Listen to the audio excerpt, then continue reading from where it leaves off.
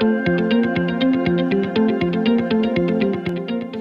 My friends. Welcome to Word Made Digital. I'm your host, Joanna LaFleur. On today's episode, we have my friend Katie Strandlund. Katie is a champion of dreamers. She's an encourager of creatives. She's a friend to artists. She believes that in partnership, together, we can do work that changes the world and that every dream deserves a strategy. So she's worked with all kinds of people as really the administrator and the event organizer. Maybe you could say the left brain to the right brain of creative and communicator type people. Currently, she's the executive director of Christine Caine Ministries, which means that she works alongside Nick and Christine Caine, bringing life and organization to the creative visionaries of things like A21 campaign, Propel Women, and then Christine Caine's own communications work in things like speaking and books. You've probably heard of Christine Caine, but you may not know some of the people on her team who are behind all this amazing work that they do together all over the world. So it's going to be a great conversation and an important one for us who work with people who are more administrative, for us to understand how to work well together with those kinds of people. And Katie's one of them. So thanks again to our sponsor of season two, Wycliffe College. It's an evangelical graduate school at the University of Toronto. I went there myself. And for me, the theological education was a complement to my business degree. And it was really very foundational in my career and what I do. It gave me some vocabulary for my faith that I could use to help teach other people as I communicate or do creative work or do preaching and speaking. And it gave me a way really to approach church life and scripture from the context of the whole picture of God's story in the Bible and in church history, not just like a small view. I was able to spend time looking at the whole thing. So, hey, I encourage you to take a class and try it out. I actually think you're going to love Wycliffe. It's surprisingly affordable for a theological education and they hold really high academic standards partly because uh, they're associated with affiliated with university of toronto which means that you get a degree from wycliffe college and university of toronto which is continuously rated one of the top universities in the entire world. So it's an amazing education uh, both on paper but also in your mind and in your soul. I, I, hope that you would consider it if you're considering theology. You can check out uh, wycliffecollege.ca slash wordmadedigital. There's a conversation there with me about what it, it, was in my life, what the impact was in my life. And uh, yeah, just check out the website if you're thinking about studying anything to do with Bible and theology. All right, no more uh, ado. We want to get into the conversation with Katie Strandlund. Here we go. Welcome to the Word Made Digital podcast with Joanna LaFleur. You're listening to season two, sponsored by Wycliffe College. Word Made Digital brings you interviews with brilliant Christian creatives and communicators to inspire, challenge, and equip you in your own work. The church carries the best news in the world, so we want to help you be the best creatives and communicators in the world. Here we go. Hi, Katie. Thanks so much for being on podcast today. Thanks for having me. I'm pumped to be here. And we have been friends for a little while at a distance, and um, uh, we met through Jenni Catron in Nashville many years ago when you were in kind of a different role. And uh, I'd love us to kind of get there in the conversation about where you've come from, and where you're going. But tell us a little bit, like, who are you today? What's your bio? Yes who am I today? So I currently um, live in Southern California, um, and I work Christine Caine in her ministries and Propel Women, um, as well as A21. Um, the um, Happy Braid, as we call it, kind of all three entities together. Um, executive director role, so I oversee all things related to Chris's personal ministry, so books and you know, online and resources and kind of oversee all that from a strategy standpoint, kind of operational, um, as well as her calendar, speaking, um, just kind of keeping all the pieces together. Yeah. So the reason I wanted to have this conversation with you is because you're the administrative uh, life behind some like visionary leaders, not just Christine Caine in the past. I want to talk about that, this business that you ran um, for many years on your own and how that kind of developed for you. Because I love that a lot of people listening to this podcast are the communicator or the creative person that probably is less administratively inclined.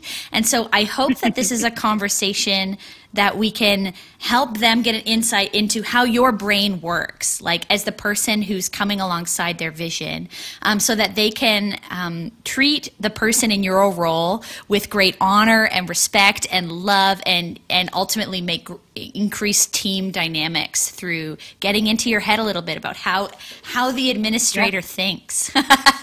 yeah. So, so yep many years ago when we first met in Nashville, you were you were doing this in a different kind of you're working for lots of different leaders and lots of different organizations. Yep. Tell us about the story of Dirty Work, that's a business and like how you got into that in the first place. Yeah, um, honestly, it was one big accident. Um, but I'm a small town girl from farm country, Minnesota. Went to school in Wisconsin. I was going to be a teacher. I was going to teach in the inner city. I was going to save the world. It was going to huh. be amazing. And um, long story short, God said, "Yeah, no, um, not so much." And so I ended up um, helping to plant a church. Did that for two years, where I um, basically I didn't preach and I did not sing. Everything else was pretty much my responsibility. So okay. everything from accounting to website to social media, which was just starting out at the time, to videos and media for worship. And what that uh, the beauty of that season was I learned to do I learned a lot about a ton of different things. And so I was not a specialist in terms of a technician of video editing. Could dabble in all of it. Um, and so two years into that was um, it was just really clear to me that God was moving me on for a variety of reasons.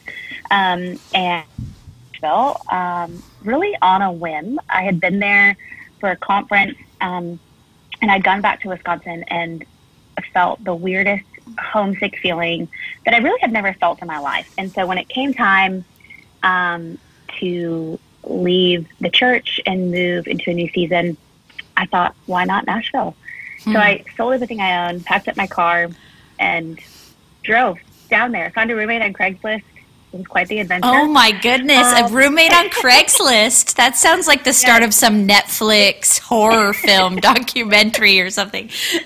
yes, I did not die. I was not threatened. Um, it was great, and it like it got me there, you know. Um, and yeah, shortly after I moved, um, I had an acquaintance um, at the time asked me if I would help him um, with a few projects, and what he said to me was, um, he said, I I am such a creative. And he said, I think you understand my creative brain and you're really good at getting things done. Um, so will huh. you help me complete these projects that I've been trying to complete for like two years? And so I said, sure. Um, and so I was, you know, just like contracting with him, helping him with some of that. And then I had the year prior a conference called the Story Conference hmm. um, which actually still exists these days. It's held in Nashville, Tennessee. Um, it started in Chicago um, by the name of a guy named Ben Arment um, at the time. Um, I had gone to the conference. It, I think, just was really impactful in my life at that time, and so I'd offered to volunteer, and um, that started with a tiny small piece, and the responsibility kind of grew as different things. And so with that and with this friend that I was working with, um, kind of all of a sudden emailing me and calling me and saying, hey, like so and so says you do this, whatever this was.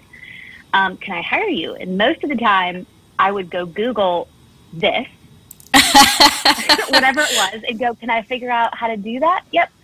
Um, and I'd say, sure. Um, and then I love it. Literally, literally oftentimes that was what happened. And so little by little, I like just had all these clients, um, but I didn't yet. I would say I didn't think of it as like a potential business at the time. And then one day, um, Ben actually, who is an incredible of ideas and champion of dreamers, and just champion of people looked at me and said, you know, what are you doing with your life? And I said, well, like I was actually doing a lot of tutoring at the time because I had finished my degree and had my, you know, education degree. And so I was doing a lot of tutoring. Like it was financially supporting me. And um, he said, you need to start a company and you need to call it Dirty Work because that's what you do for people. To argue with him. And um, it became very clear that, like, I felt like God was asking me in the moment, like, what reason do you have not to give it a try? Um, huh. And I didn't have one. Um, and so I said, okay. So I kind of started formalizing it into um, an actual thing. And a couple months later, you know, officially launched with website and all that. Um, and continue doing that for six and a half years. Yeah. Uh, so when you're saying of, the when you're saying the it, like what is the it? Like what did you do with Dirty Work? Yeah. Yep. Um, so we did event management um, and administrative support. Uh, now that administrative support looks like everything from, um, you know, like travel, like personal assistant in terms of booking travel and emails and those sorts of things, to really helping people set up kind of the operational side of their business. Um, we ended up working with a lot of authors who were speakers, um, small nonprofits, um, entrepreneurs. Um, and on the conference side, it was like a lot of the operational logistics behind a conference. So everything related to venue and registration and, um, you know, organizing a volunteer team and um, all of those, really the administrative pieces behind the experience of a conference. Yeah, yeah. And basically continuing to see that a lot of people aren't good at that. like I would imagine like did this come naturally to you and it's kind of like, "Oh, like uh, how how do you not know how to do this? It just sort of is intuitive." it does. It's very much like my brain. Um, my brain thinks in puzzles. My brain thinks in like I, I have a problem solving thing in my brain that like just never shuts off. So I'm constantly like looking at things and going, oh, you could do it this way, and it could be more effective or more efficient, or you could you accomplish your result this way. Um, it's like anytime I see a hurdle, my brain instantly starts thinking about a way around it or through it, or you know. Hmm. Um, so yes, very much comes naturally to me, um, and I and yet I did discover. It didn't take me long to discover that it's not common. Um, and I think that, um, especially not common to, because most people who have that um, skill set has like the creative side of things to them is like a foreign language. Um, yeah. And so to, to really understand the creative brain and the creative process and also understand the system side and the process side um, and logistics um, is definitely not. It's not something that just like you find often. Mm-hmm. I would say, um, and that was always a challenge. Like as I built a team with my business, is like finding other people who um, could also live in that intersection of yeah, it could be um, translation between these two worlds. Mm-hmm. Yeah. Well, I think maybe maybe it's a stereotype for me, but but maybe it's not fair. So administrators listening, I'm sorry if this is this is just a stereotype, but it's kind of like accountants, like this sort of like mm-hmm. like lower on the social skills, emotional IQ, you know, and really yeah. good at spreadsheets and data and details, but but then not fun, to, not enjoyable to work with as a you know high yeah. capacity leader because um, they don't maybe know how to translate the detail into a friendly working relationship. and but yeah. obviously, obviously that's the that's sort of the key behind what you've been able to do is that you can translate between yeah. these two worlds. Yeah. Yep. That's really cool. And I mean, yeah, and obviously there's a huge need for it in, and were all your clients, were that, were these Christian clients or were the, the church clients or was it, uh, like other kinds of businesses? Yeah. Um, I would say every person that I worked with was a Christian. That didn't necessarily mean that the work that they did was exclusive to, yeah. you know, like professional ministry world. Um, some of them were, you know, definitely entrepreneurs or you know solopreneurs as we called them in the marketplace, um, but they were all definitely believers at their at their core. Yeah, yeah. And so, me, uh, along the way uh, of building this business, um, you kind of again unexpectedly fell into the job that you do now. Like it seems like the mm-hmm. job you do, I would imagine maybe is not something uh, you know, if people are thinking, oh, it would be amazing to work for a leader like Christine Caine, it's not usually the kinds of jobs that there's like an application on the website for. so right. how how did you how did you even come into contact with the organization? Yeah, um, as is the case with everyone that I worked with, um, it was through relationship. Um, mm. So it was through um, I was working with a church um, in North Carolina, and um, I was out there. They brought Christine in to speak for an event, and I was out there and um, got chatting with Nick, um, Christine's husband. And six months later, he called and asked um, if he could hire me. and so I actually started. I started working with the team on a remote basis, hmm. just kind of handling everything related to Christine's speaking engagements and their travel and calendar um, which in and of itself is a lot since they travel about 280 days a year, if not more. Um, and then about two years into it, um, through a series of events, um, the conversation came up about moving into this expanded role um, as we made some, we were shifting people around in terms of roles. And so I said, okay. And I shut down my business and moved huh. to California. And so I've been in this full time kind of like director role for a little over two years now um, here in California. So definitely, uh, you know, something that unfolds, I think, organically. Yeah. People, you know, have like young girls, especially, will ask, you know, like, I want to do what you do. How do I do that? And oftentimes I say, well, you kind of have to, you know, like I do think it's, I think it's one of those roles where um, looks a lot more glamorous than it is. Um, and it incredibly rewarding and it's a lot of work and it's what yeah. you would expect. And so um, it's definitely one of those roles. You just have to have a deep passion to serve and to help. Um, yeah yeah. And I would imagine, and it's such a high trust role. Like it's not the kind of thing that, again, in, along the lines of you don't just kind of apply to a role like this. When you're, if people aspire to, they have your kind of skill set and they have a dream of working with senior leadership in any organization in there, maybe it's in their local church or it's in a business in their community, you have um, a level of access and influence and information that means you have to have like the complete trust of your leader, right?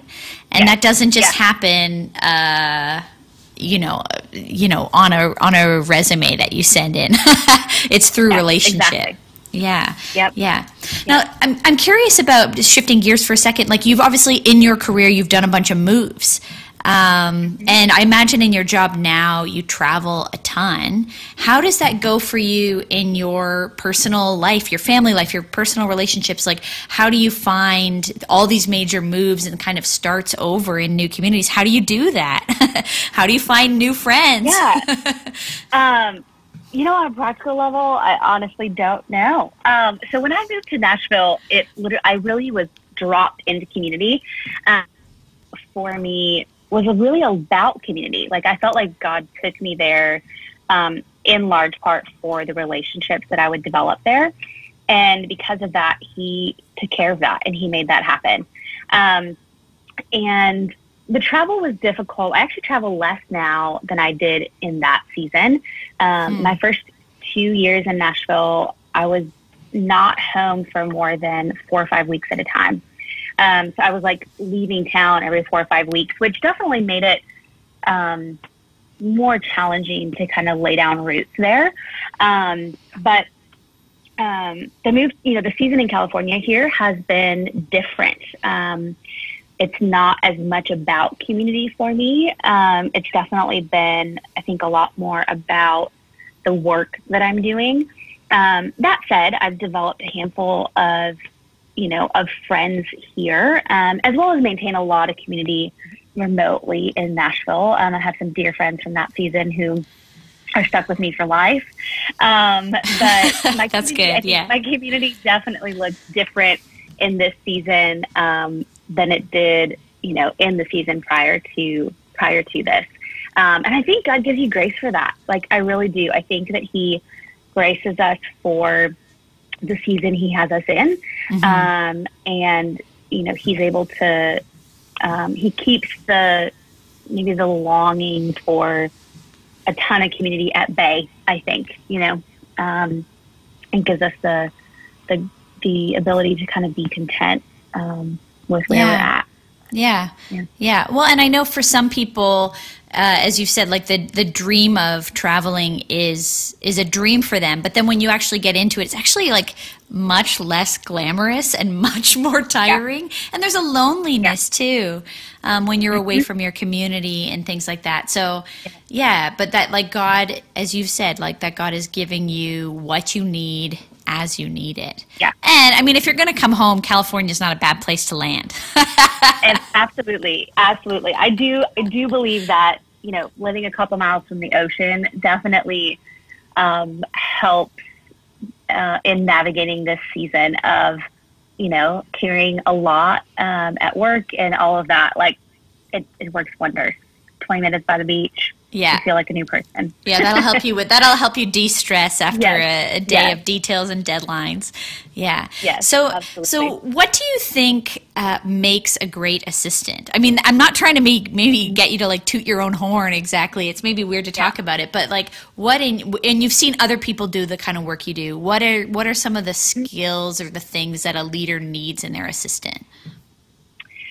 That is a good question. Um, I think really, at the end of the day, a really great assistant, it's much more of an art, I think, than most people would imagine. And I think that's true of a lot of things. Um, being a really great anything is an art, and it's there's a lot of nuances in it. It is much about you know character and personality as it is about skill set.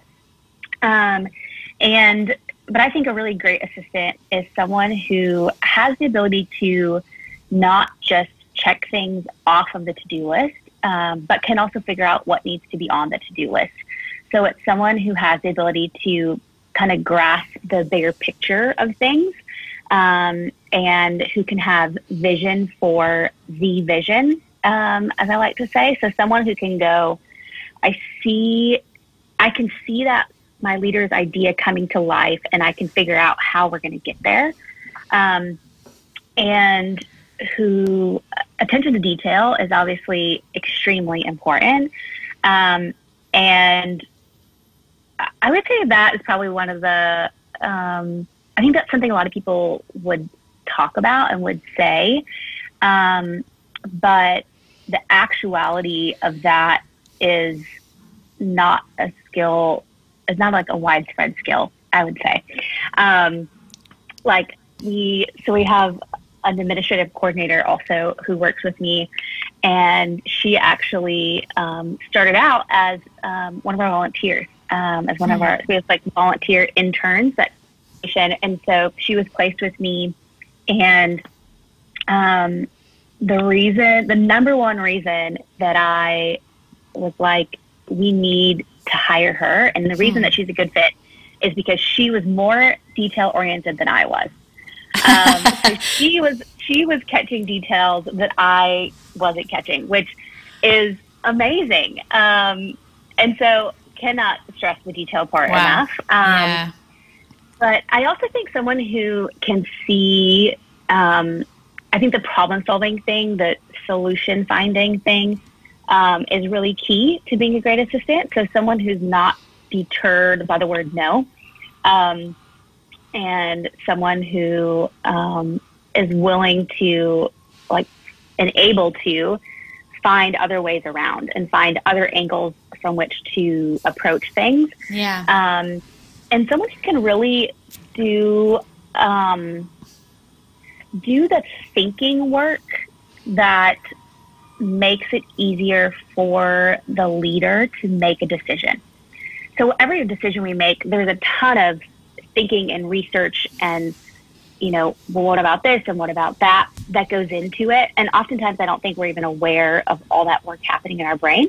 Um, but I think someone who can do the bulk of that for a leader, um, kind of present them with the information, and it makes it um, leaders can make so much more decisions, and they can make them more quickly and more efficiently, um, so that they can really spend the bulk of their time doing um, ultimately doing the thing that God has called them to do um, that no one else can do.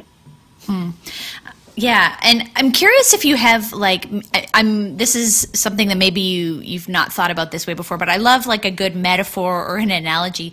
Do you have a a sense of like are you like the bones to the body or are you like do you view yourself as like in the navigation seat beside the driver telling them like helping mm-hmm. them get them out? Like what would be like an analogy for how you view yourself in the team or like in the structure? Yep. I think um, navigator is a really um, is a really good analogy. Um, you know i used to say you know back when i had my business i used to say like every superhero needs a sidekick um, and we are yours, you know? So that person um, who is, yeah, navigating, figuring out the best route, presenting, you know, we could go this way or we could go that way, or, you know, oh, I see this obstacle up ahead. Um, but who's, and who's also like cheering you on. Like when you've been hmm. driving mm. 12 hours, yeah. Going, um, like we're almost there um, no, you're not crazy for wanting to drive to the night and, you know, reach this destination. Um, so that championing part, I think, is also um, really important. Yeah, we um, in in my church right now we're in a series on spiritual gifts, and so this is new learning for me. The gift of administration, like this, the spiritually empowered part of it. The the translation can also be instead of administrator, it can be helmsman, which is the person in the ship that steers the ship where it needs to go, but they're not the one who decided where it's going. Um, like right. the captain of the ship yeah. says, okay, we're going to go from A to B. And the helmsman is the one who's going to figure out the details of navigating the ship based on where the captain yeah. intends to go. And, and that's, yeah. I think, probably where uh, the administratively gifted person can get in trouble is when they try to be the captain, but they're the helmsman. Absolutely. Absolutely. And I think, I think the best administrators ha- do not have a desire to be the captain. Like genuinely, um, do not have the desire. I remember a couple years into my business, I remember someone asking me um, when I was going to have the courage to go after my own dream instead of huh. just helping other people with theirs. Um, and that really like it got to me. It bothered me, and so I spent a lot of time thinking about it and praying through it. And I finally came to the conclusion, like, no, I was living my dream, and now it wasn't a dream I would say I could articulate when I started my business, but I I truly love um, being like the one behind the scenes, being the one helping to steer the ship, being the one navigating um, I genuinely do not have a desire to be the captain. Um, yeah. And um, I think that too often people see administ- like administrative roles as a stepping stone to the top. Um, and I think that that's unfortunate. And I think that's probably how we get some ineffective administration. Um, I really think the the most effective ones are just truly passionate about steering and about yeah, being the second chair. Yeah, yep. yeah. So, um, I mean, sometimes though, from that administrator position, the hel- if it's the analogy of the navigator in the car or the helmsman on the ship or whatever it may be, um, there are yeah. times where you might see something that the leader doesn't see. Um, particularly like if you're like, you know what, like this just isn't possible. Like, like somebody comes in yeah. with this great idea and dream, and like the administrator in the room's like, oh my gosh, like that's, yeah. you know how much money that's going to be? Do you know how much time? Like we have one day to pull this off. We can't get that. We can't get that thing from the printer in time. I don't know, whatever it is. I'm thinking of these great, creative, innovative leaders that you've worked with for many, many many years. Um, yep. How do you how do you as a how do you how do you approach that conversation? Uh, yeah. what what's your advice for people who have to bring reality? Not you don't want to be the wet blanket, but you got to bring reality to the right. room. yep, absolutely. That is a great question. Um, so a few things. I think um, being a really effective administrator is a continual process of redefining what is not possible. Um, and so I think it's constantly um, checking yourself and making sure you're not just shutting something down because you haven't done it before or because mm-hmm. of a bad past experience with that thing. So um, I think it's a constant process of that, of going, you know, wait, could this be possible? Um, and the second thing is, I remember, so when I was working at the church um, right out of college, I remember one day my pastor and one of our key volunteers, they walked into my office um, and my chair faced the door in my office. So they said, um, Hey, we have an idea to run by you. And I'm working on my computer. And so I turned around and they, my pastor looked at me and said, Now, before I tell you this idea, I need to say this. I do not need you to tell me why this won't work.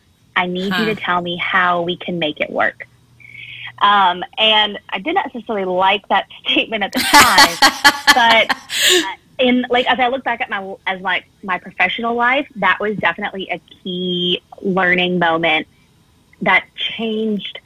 Um, that really changed how I think and how I communicate. So what I realized in that in that conversation was um, it a lot of it comes down to how we communicate the obstacle, obstacles are how we communicate the hurdles. Um, because honestly, most things actually are possible with enough money or enough time or enough, you know, manpower. And so learning to say, hey, we can, we actually, yeah, we can do that. Here are the implications of that decision. Right. So we right, can do that, right. but it's going to cost us this much, or we you know, we actually, we would need to do it in three days, not three hours. Or we can do it in three hours, but we, you know, we need 10 extra people to do it. So right. I think a lot of it is that it's learning to actually communicate solutions um, instead of problems um, and making your leader aware of the implications of a particular solution um, and then letting them decide, like recognizing ultimately it is their call because God has placed them as the leader. Um, and so you do your due diligence of, um, you know, the role that God has given you and saying, hey, here's what that's going to mean. Um, and then letting them make the call based on that. Yeah. Well, I love what you're saying in so many ways, but a lot of it is that I think sometimes a leader who has some big idea, vision, something they want to pull off for that Sunday at church or that next event or whatever they're launching yeah. or doing next, they don't understand the implications of it or how that affects the team. And so they've made, right. and so the team might get hurt, frustrated, annoyed, and certainly that can lead into some like toxic you know talking behind the leader's back or whatever gross stuff that that can yeah. lead to maybe because the team hasn't or you know the administrator or whoever that is they need to communicate the implications properly. Okay, we can do right. that if, but here are the cons, or here's what we have to stop doing in order to make this other right. new thing, this new direction happen, or or whatever. Yeah. Um, do you yeah. have um, some some? I'm curious on like a really practical level, some ways that you communicate as a team. Uh, are there like some apps or some tools or some meetings you have regularly? How do you how do you guys keep in good communication? Yeah. Um, obviously we do a lot of texting. Um, oh, you mean our, like text like on your phone, I or like yes. WhatsApp or yes. iMessage or whatever? Yes, typically uh, iMessage. Yeah, um, lots of that. Um, in my in our current context, um, like within our department, we do a weekly team meeting, um, which is part practical, but also part inspiration, and just kind of keeping us all on the same page in terms of mission and vision and why we're um, you know, doing the spreadsheets and the endless emails and those sorts of things. Um, we also currently use a project management app called Teamwork, um, which oh, I love. Um, there's so many incredible project management applications out there, um, some more robust than others. Um, but teamwork is one I love. Um, I used to really love Todoist. I used Todoist a lot um, back in the day. Um, I think also if you're working with a team that is a bit more spread out um, or a bit larger, um, Slack I think is a really great tool um, for communication and those sorts of things. Um, email, I think we have to be careful with email for internal communication because I think we can get to drowning in it. And yeah.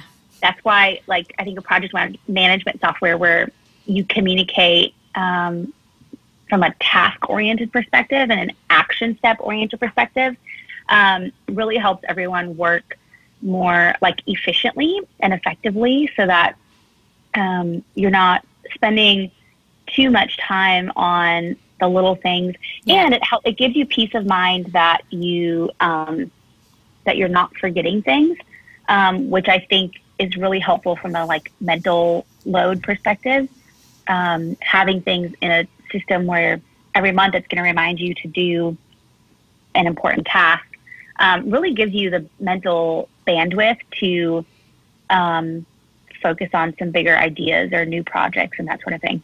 Yeah, yeah. It's it's true that like there are so many ways we can communicate now that it can be overwhelming if you don't have like an agreed upon system. Like you're getting like I don't know Facebook message and WhatsApp and iMessage and inst- and suddenly people are messaging you on Instagram and Slack and email and your third email address and, and and it just can go crazy and like I know yes, how many yes, how many absolutely. of us are saying. I mean, as a non-administrator myself, uh, how many I'm like, I know you emailed or messaged me somewhere about that. Where yeah. did you send that information to me? And so you know the the more kind of like common, consistent tool we can have a, a, bunch of group. I'm sure that makes a big difference when your team is all over the place all the time. Yeah. Yep. Absolutely. And I also, I personally like if someone sends me something, even in a text message, like especially on a weekend or at night, that I know I need to handle the next morning, I will take 10 seconds and I will copy that text and I will paste it in an email to myself. Okay. Because I know if it's in my inbox, I won't forget it. Um, you know, so like from my phone, that's the quickest action I can take. Um, so that seems like yeah. may seem like extra work to some people, but I do think it's it's really helpful and helps me not forget things yeah. that come through random communication channels. Yeah. You know, just as sort of one of my last kind of big questions to you, I think in some ways you're answering it, but I want to ask more directly. Do you yeah. view your work as ministry? Uh, and like, how how is this ministry for you? Um, short answer, absolutely. Um, honestly, I think that as believers, no matter what work we're doing, we are doing ministry. We are ministering to people. Now, obviously, I think there's a difference between professionally working in ministry, that kind of being your career. Um, and obviously, that is very much, you know, work for a faith based nonprofit. So, definitely um, very much ministry. Um, but I definitely see it as, um, you know, you talked about the spiritual gifts earlier. Like, I really do believe that um, you know, administrators who are effective in um, faith-based organizations, whether that be a church. There is definitely a significant um, um, that has to be present um, in order for it to really work. Um, so yes, definitely see it as ministry, um, and definitely see it as um, soul and a conduit of what God is doing um, through a larger vision and through you know any particular leader's life. Yeah. Yeah. And so, like, as you do your work and your life now mm-hmm. in California, far from yep. home and far from Nashville, you know, where you built yeah. such meaningful relationships, like, what is God teaching you right now in your life? What are you learning? Yeah, I think one of the things um, that I continue, he continues to remind me of, and I think that he teaches me new depths of in different seasons of my life is um, the truth that ultimately he's the one establishing things. Um, I love in First Corinthians, it talks about um, it's really not about the person who's watering or about the person who's God who makes everything grow. Um, and we just get to co labor with Him. Um, and I know for me, um, being someone who is very driven, who's very goal oriented, who likes to see things accomplished and finished and successful, um, it can be easy but very dangerous to forget that ultimately the result um, is not up to me. Like ultimately the result is in God's hands, and He's the one um, growing the work that we are sowing. Um, and I think that um, this season He's reminding me of that um, and kind of trying to instill that in my heart at a new level, which changes the ease. Um, I think the ease with which you work. Um, obviously, we have a lot on. Calendar is very full all the time. To do list is never ending. Um, but it's not what's on the calendar or on the to do list um, that makes or breaks my stress. It's kind of it's where my heart is positioned um, yeah. in terms of the success of it all. Yeah. So if you were to, you know, the people listening who are feeling like they're in a similar kind of a role in maybe their organization, uh, but they might be feeling discouraged, maybe maybe not treated. I don't know. Maybe they don't feel they're treated well, mm-hmm. or maybe they feel like their work they've been struggling to find the purpose and the meaning. Do, do you have just like a word of encouragement for for people in your kinds of work? Ooh, that's a good one. Um, I think I'd probably go back to.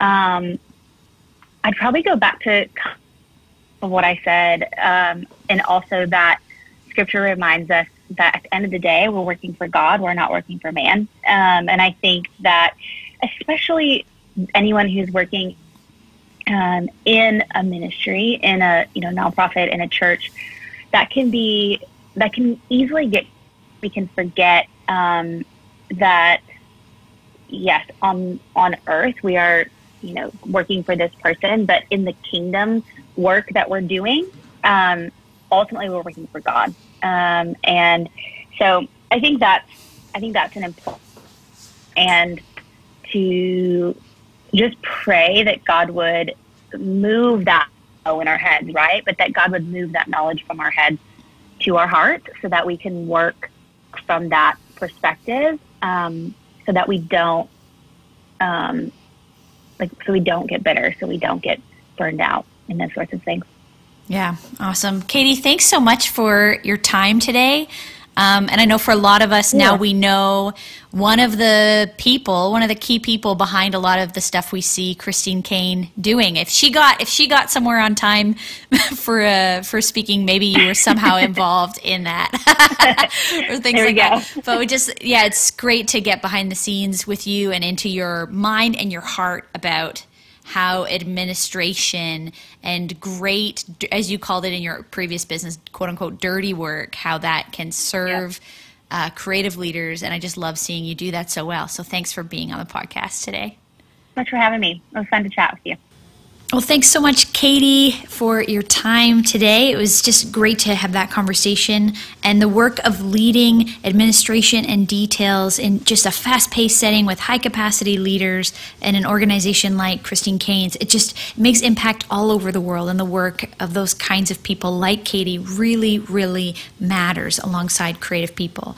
Next week, speaking of creatives, we have the creative mind of CJ Casciotta, and his, he's going to be talking about his book called Get Get Weird. It's all about how being weird actually makes the difference. And he's the creator of Ringbeller, which is video lessons that teach kids creativity and kindness in this incredibly creative and entertaining way. So you're going to want to come back next week for CJ. Thanks again to our sponsor, Wycliffe College. Remember, they're affordable, just about $602 Canadian if you're Canadian to go there to school at the University of Toronto. And it's flexible too, in class, online, full time, part time, whatever whatever works for you. If you're thinking about taking a course in theology or New Testament or church history or whatever that may be, I want you to consider Wycliffe College. Go to wycliffecollege.ca slash word digital and you can see an interview with me. You can check out some more details about what they have to offer. And I'll see you back next week with CJ Casciotta.